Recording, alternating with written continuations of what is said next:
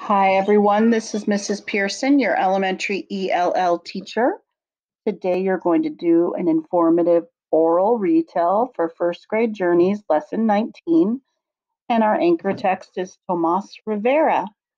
Before this lesson, we're going to do the turn and talk routine. That means I'm going to ask you a question. You're going to think about your answer. Then you're going to pair up with a partner at home, or I can be your virtual partner. And then you're going to share your thinking out loud in a complete sentence or sentences. Tomas Rivera is nonfiction. And what does nonfiction mean? Nonfiction books teach us information and facts. Nonfiction is real. It might have text features and photographs, might have real topics. It might be about real topics like holidays, animals, and sports. Tomas Rivera, we know that Tomas Rivera is nonfiction. The text is nonfiction. But what is the genre or type of nonfiction text? Well, Tomas Rivera belongs to the genre category of biographies. Biographies are nonfiction text. Biographies tell about a person's life, and biographies are written by someone else. So let's review our vocabulary words because you might use these vocabulary and sight words when you are talking about the biography Tomas Rivera. Work. Work means work is a job or task. Work. Two, great. Great means very good. Great. Number three, talk. Talk means to speak and communicate. Number four, paper. Paper or parchment is what you write on. It is what a book is filled with.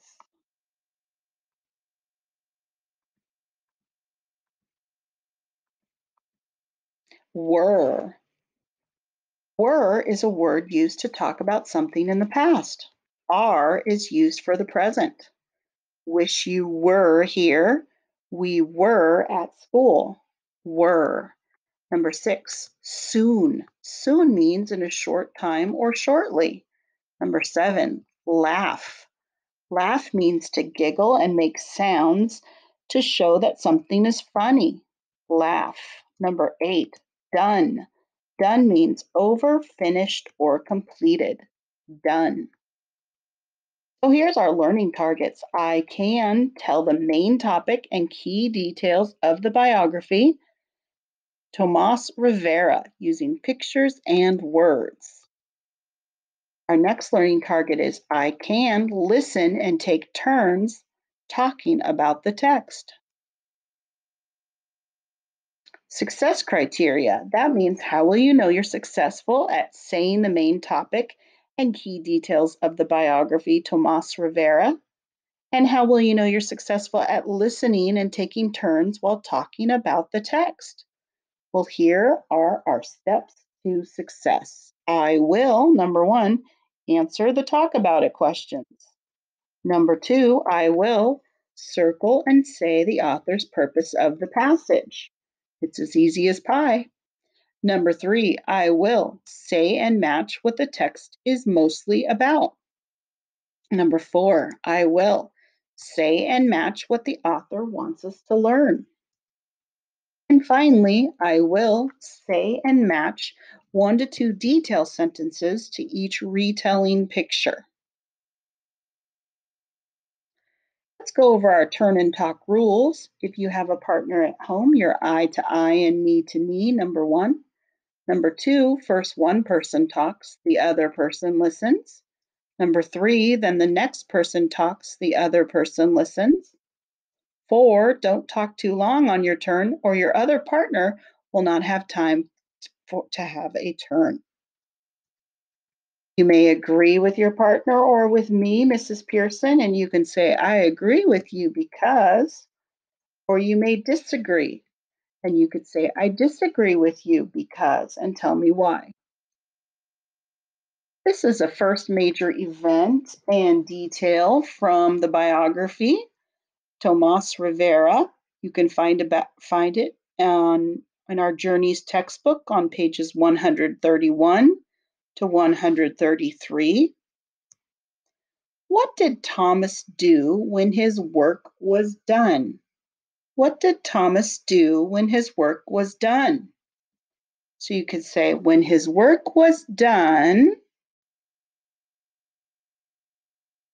So say your answer out loud. When his work was done,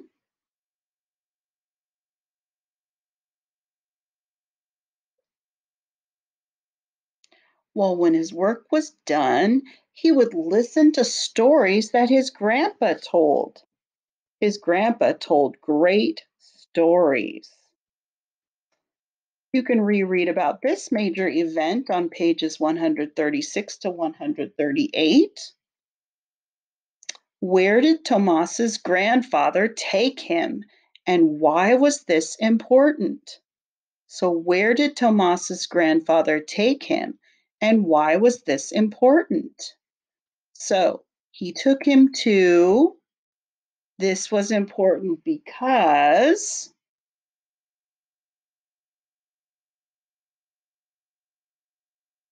Well, Tomas's grandfather took him to the library. This was important because Tomas read a lot of books about nonfiction and fiction, and he learned not only to read, but to become a writer and get ideas. Um, you can reread about this major event in important detail on page 139 of our Journeys textbook. What is Tomas doing in the picture? What is Tomas doing in the picture? Tomas is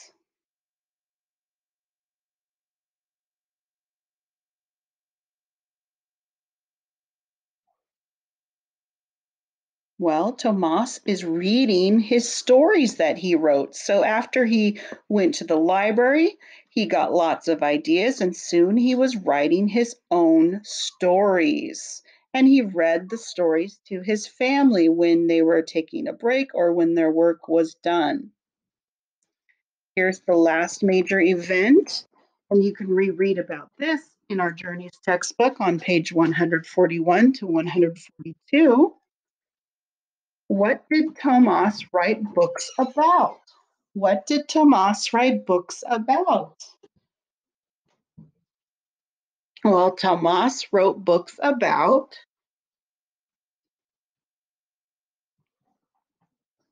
Tomas wrote books about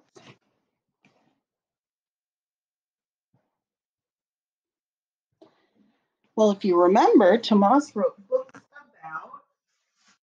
people working in the fields and planting crops and um, about things he knew about, things that was in his childhood, um, moving from farm to farm in Texas and picking crops. So, what are the people doing in the picture? What are the people doing in the picture? Well, the people are the people are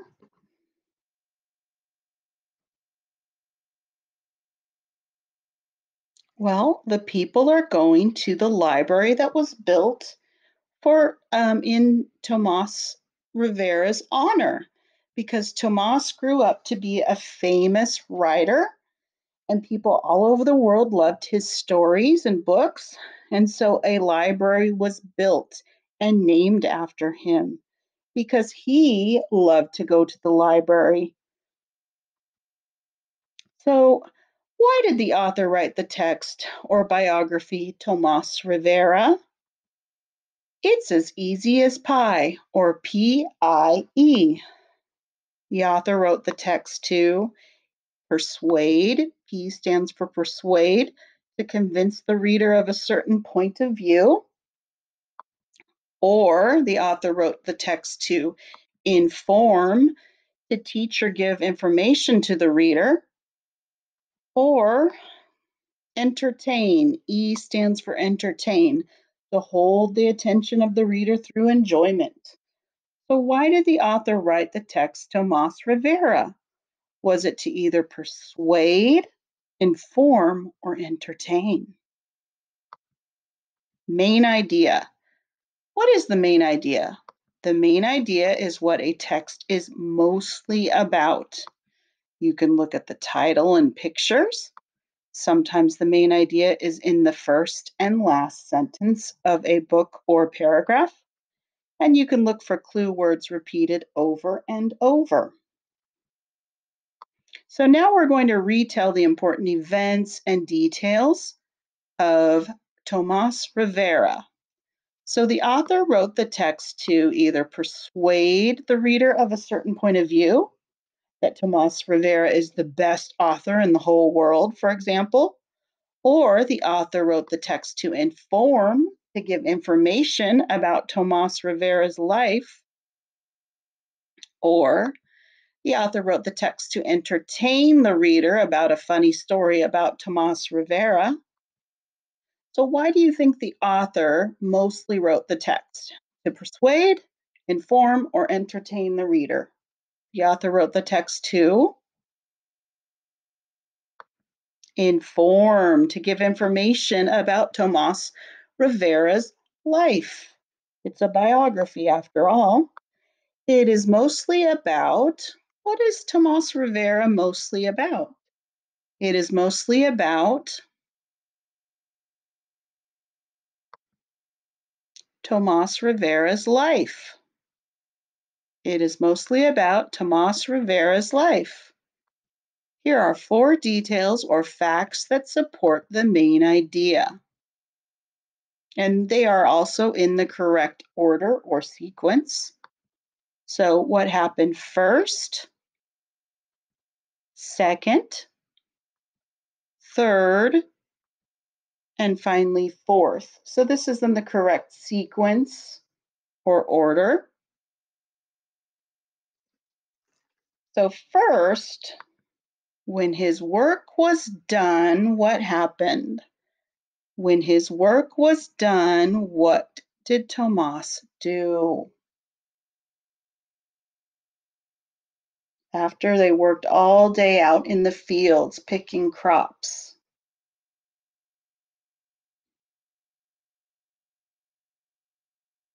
Well, first, when his work was done, Tomas's grandfa- grandpa would tell great stories. When his work was done, Tomas's grandpa would tell great stories. Second, what happened at the library? Second, at the library,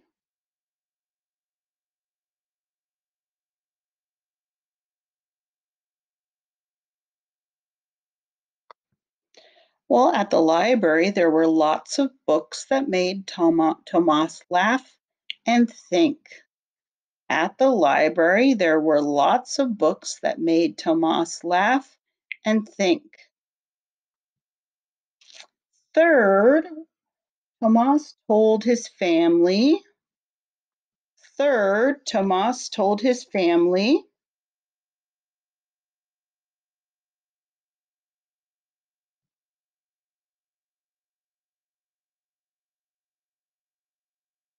Well, Tom- soon Tomas told his family his own stories and then wrote them on paper. So soon Tomas told his family his own stories and then wrote them on paper. Fourth, what did Tomas write about? Fourth, Tomas wrote about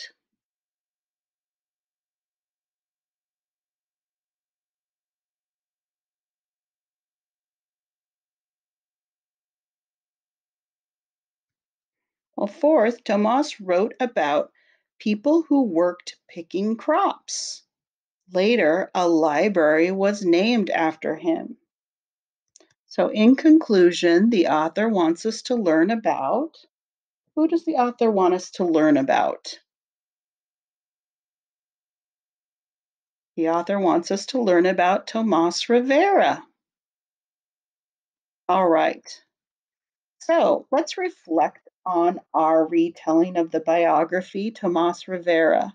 I can tell the main topic and key details of the biography Tomas Rivera using pictures and words. How do you think you did? Four. I could teach this lesson. I easily answered the questions. I retold the main idea and I retold all four details out loud. If so, say, I earned a four.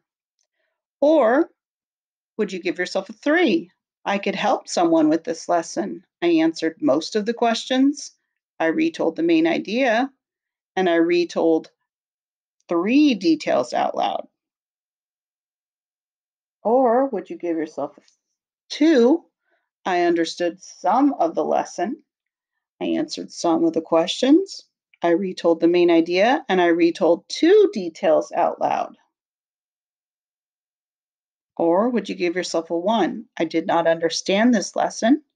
I was not able to answer the questions. I did not retell the main idea and I did not retell the details out loud. So, how do you think you did? Four, three, two, or one? All right, boys and girls, thank you for reviewing Tomas Rivera with me and talking about it. Have a great day.